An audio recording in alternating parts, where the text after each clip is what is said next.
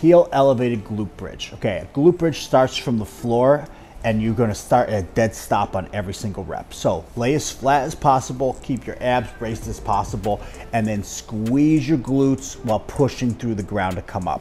The reason that we elevate our heels with this exercise, guys, is to remove the quad from it. So if you're quad dominant or if you have some knee pain, this is an excellent option for you.